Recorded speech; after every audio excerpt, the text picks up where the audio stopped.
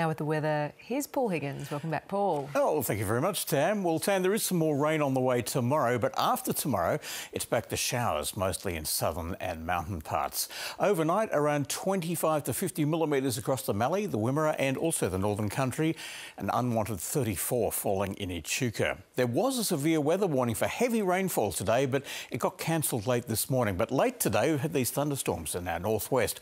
Walpurgis had 34 millimetres. 24 degrees at Albury Wodonga and at Mildura. We had a few spots of rain in Melbourne's west, but that was about it. A city high of 20.6 at 3.50 p.m. And right now in the city, it's back to 19 degrees. Sydney had 19 millimetres of rain today, and that's pushed the city into its wettest October on record. There's a low just sitting near northwestern Victoria with pressure troughs extending from it, dragging in a lot of tropical moisture.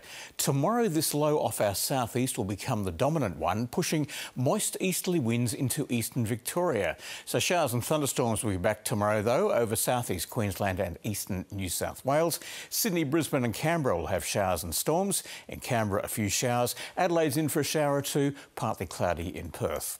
Back home, those showers will contract to the southeast tomorrow with some rain areas. You can see them there in the east in the morning. Possible thunderstorms as well. 6 to 15 millimetres over central parts and also in the northeast.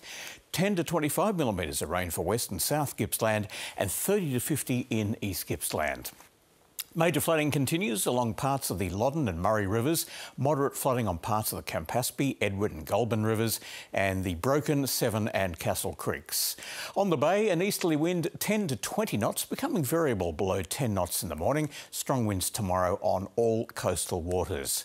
We have showers skirting by Melbourne's outer north and west at the moment, and they could move in later this evening, even tend to rain in our northwestern suburbs. Cloudy tomorrow with showers, 6 to 10 millimetres of rain, possible thunderstorms as well, 16 to 22 degrees.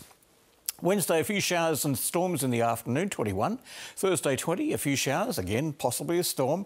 Friday, windy with a shower or two. Saturday, a shower or two. 20 on Sunday with more showers, more showers Monday, and the early mail for Cup Day, more showers and cold, Tam. Thanks, Paul. Stay with us now for 7.30.